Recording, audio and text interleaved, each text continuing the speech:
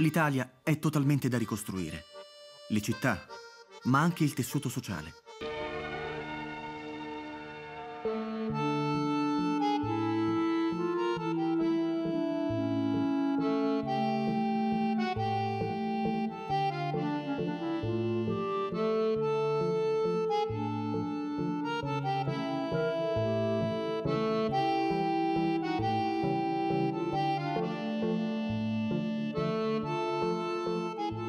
Manca il gas e ci si aiuta come si può con rudimentali fornelli a carbone. Mancano i mezzi di trasporto.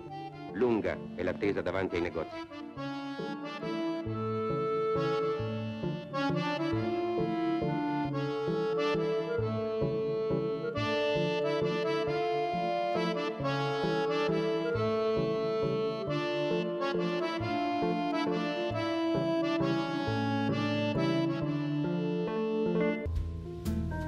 Ci sono cumuli di macerie ovunque. L'Italia è un paese che è stato diviso sia geograficamente che politicamente.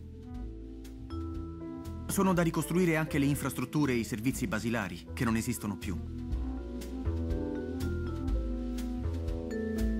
Prendendo la parola in questo consesso mondiale, sento che tutto, tranne la vostra personale cortesia, è contro di me.